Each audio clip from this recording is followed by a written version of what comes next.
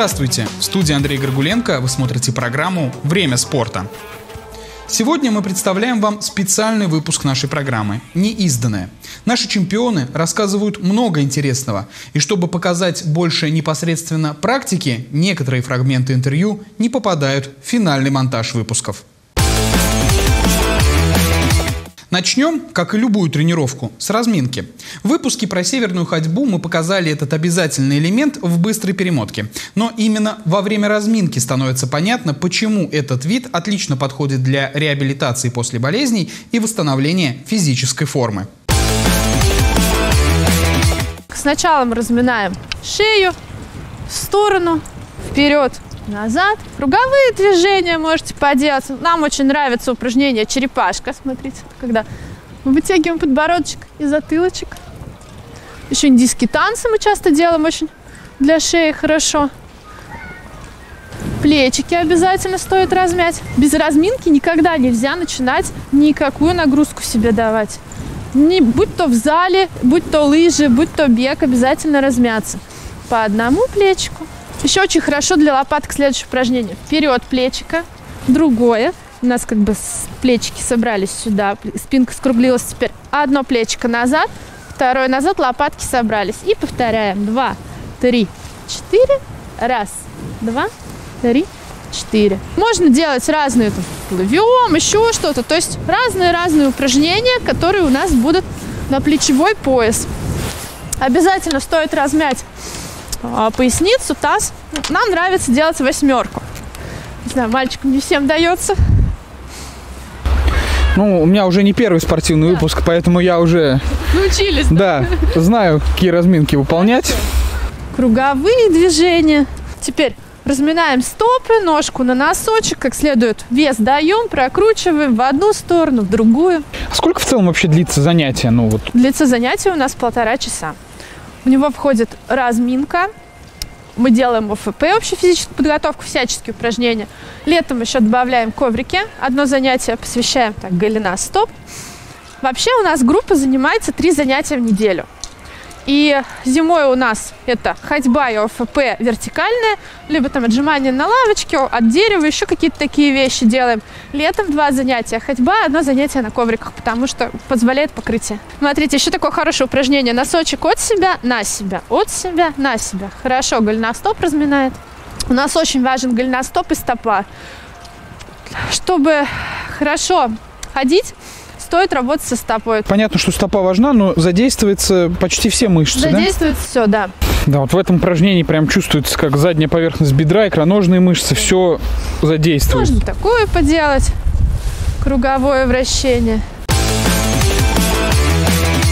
Северная ходьба также отлично укрепляет сердечно-сосудистую систему. Мы проверяли разные палки, разные высоты, то есть как бы стандартно для спорта у нас 0,7 коэффициент. Но мы ходили с более длинными палками, с более короткими. Мышцы отзываются по-разному. То есть с этим можно играть, с этим можно, это можно варьировать. Что самое интересное, мы даем не только э, кардио нагрузку за счет того, что мы ходим, мы даем еще силовую часть. Могу сказать такую информацию э, интересную, чтобы не было проблем с сердцем и сосудами, обязательно нужно работать с верхом, то есть с корпусом. Это очень важно. Как вы будете работать с гантельками, с эспандерами, с палочками, да, неважно как, главное прорабатывать верх. Тогда никогда не будет проблем с сердцем и сосудами. Дальше разберемся с правилами. В выпуске с тхэквондистом Рафаэлем Аюкаевым мы косвенно упомянули набор очков в этом боевом виде. Недавно там произошли изменения в подсчете баллов, и поначалу даже такой любитель статистики, как я, не сразу разобрался, как добиться победы по очкам. Вот здесь есть э, разметка красная, синяя. Это вот непосредственно для спаррингов, да, уже боевых. Э, как, есть какие-то правила в разметке? Да, да, да. А, корт у нас 8 на 8. 8 так квадратов, 8 так квадратов. Угу. Вот. За и него нельзя выходить. Во время боя нельзя выходить? Нет, можно на полстопы. Это максимум. Если ушел, от, это штрафные баллы? Да, будут? это гамджон. Это, э, ну, типа нарушение, и всего можно за бой набрать 5. Пять нарушений есть? За один раунд. Если за один раунд 5 набираешь нарушений, то все. Раньше было, что, ну, сейчас правила немножко изменили. Раньше было так, что если 10 нарушений набираешь, у нас же раньше был бой не по раундам, а по, ну, По три, да, три раунда был. Вот. А сейчас каждый раунд, вот. И раньше, если 10 этот, нарушений набираешь, все, бой заканчивается, неважно вообще.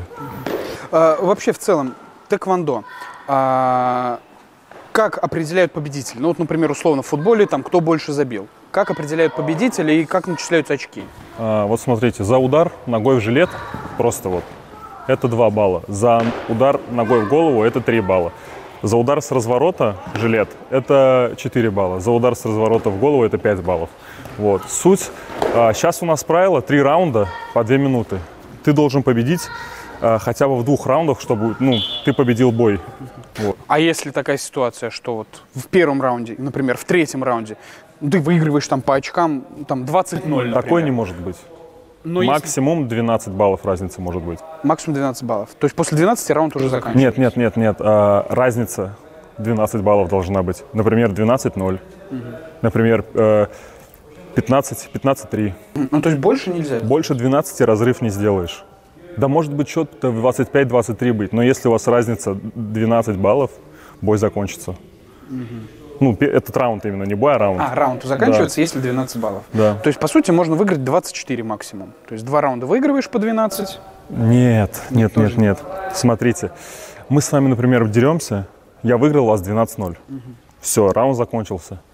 И мы можем драться, хоть счет у нас будет 30-30. Но если, допустим, вы мне заберете, если у вас будет на 12 больше, то раунд закончится. А, то есть суммы раундов не суммируются. Следующий Нет, раунд нет, нет, нет, заново. нет, да, каждый раунд по новой. Сейчас так, такие правила у нас теперь. А раньше было, можно было выигрывать там хоть 50 Ну, смотрите, 8, да? раньше можно было, что, например, вот, ну, может быть счет 50-0, но это только два раунда. Если 50-0, например, счет в третьем раунде вы уже не будете драться. Раньше 20 баллов как раз таки было.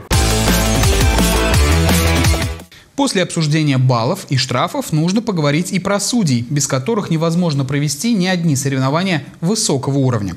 Олимпийский призер, гонболистка Ольга Фомина рассказала, какие основные нарушения есть в их виде спорта и в какой стране работают самые суровые арбитры.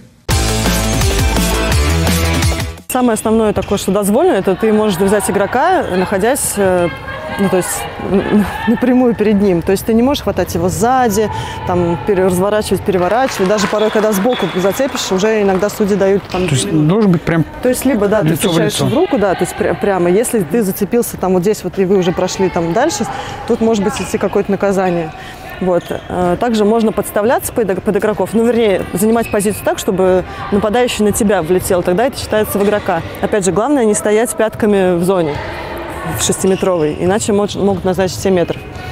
Вот. Но довольно сейчас очень такие строгие правила, и даже вот любое движение крайнему игроку, когда ты пытаешься сократить угол для крайнего, порой расценивается как э, нарушение, потому что ну, действительно очень травмоопасно, когда человек наступает на ногу или, не дай бог, цепляется рукой, там, плечом, и можно это плечо вырвать, оторвать.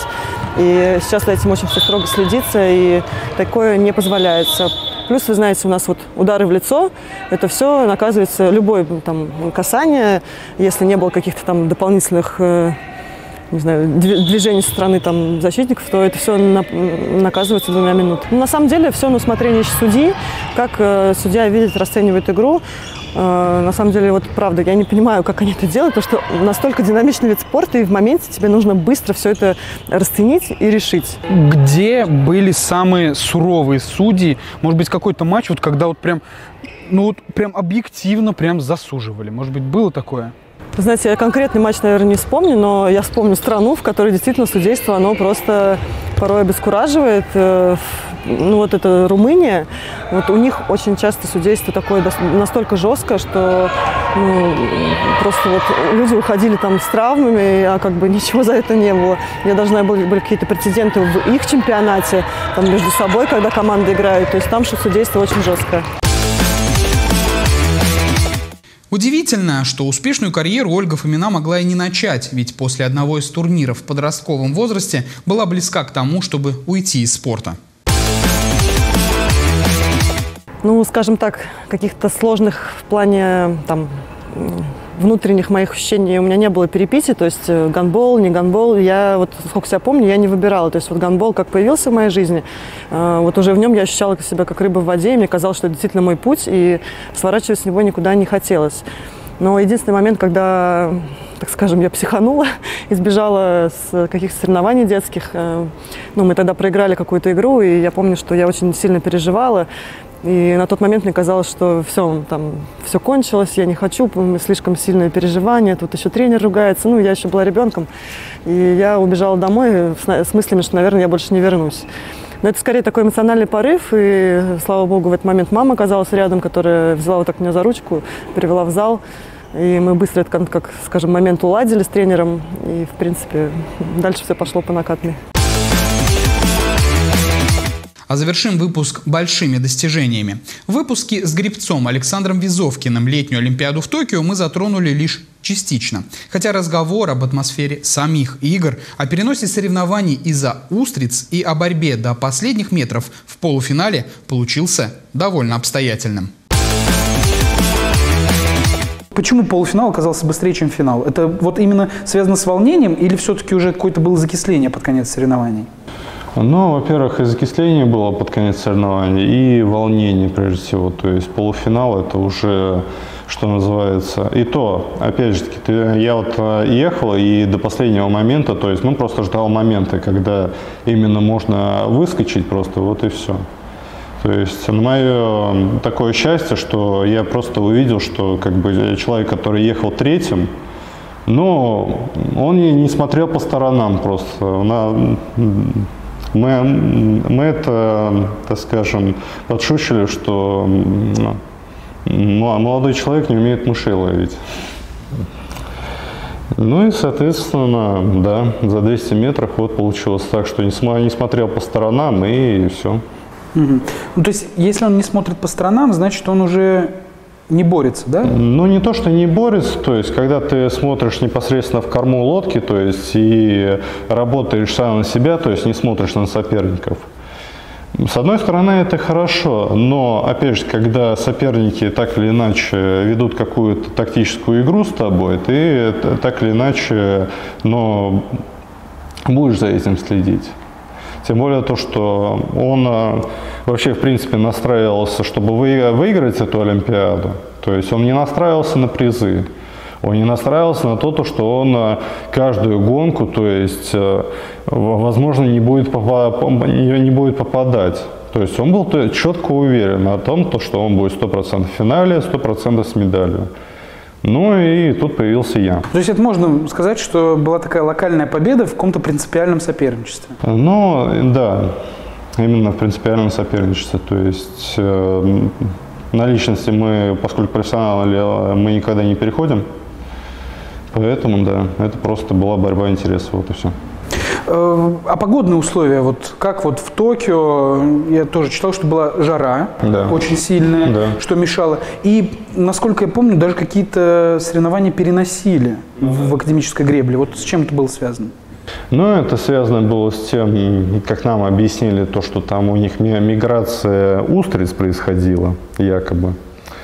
Я не знаю, как это, ну, то есть я, хоть я более-менее за, понимаю зоологию, но тем не менее, вот именно в миграции устриц я мало что понимаю. И поэтому, ну, нам объяснили так, то есть мы -то сами с этого смеялись, но тем не менее старты переносились. То есть переносились еще из-за погодных условий, потому что жара была как раз-таки очень сильная там а, тайфуны те же самые. То есть, поскольку Япония то есть, географически так расположена, что для них изменение погоды по щелчку пальцев это нормально. То есть э, это можно, допустим, у нас проследить, проследить то же самое в Владивостоке, потому что климат один и тот же. Поэтому как-то так. На этом наш специальный выпуск завершен. Больших побед вам! Удачи!